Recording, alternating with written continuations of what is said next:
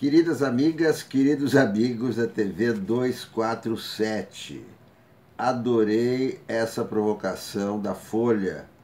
Anúncio de um quarto de página com título Leitores do mundo todo univos anunciando o livro Comunismo para Crianças. Imagino a cara dos, dos ministros jurássicos, Damares, Ricardo Salles, Ricardo Vélez Rodrigues, Ernesto Araújo, vão dizer, olha aí, tá vendo? Não, não dizíamos que queriam doutrinar as criancinhas. Está aí.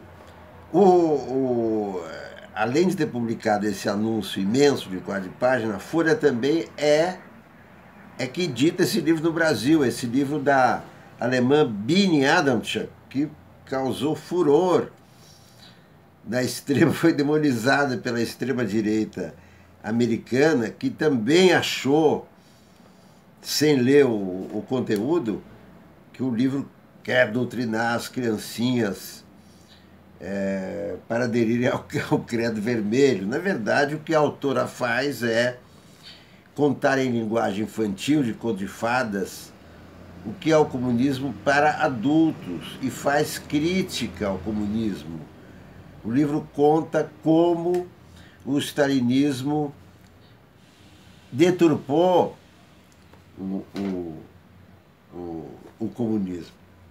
Bem, é, é, Bolsonaro, ao ver esse anúncio, evidentemente que já viu, já deve ter visto o anúncio, vai estrebuchar, vai subir as tamancas, vai twittar para Deus e o mundo, mas tem que se conformar, não adianta. Né? A, a, a Constituição que ele prometeu cumprir no dia primeiro garante a liberdade de expressão e veda totalmente a censura aos meios de comunicação.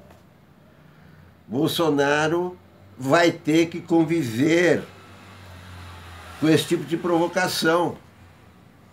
Quem com tweets fere, com tweets será ferido.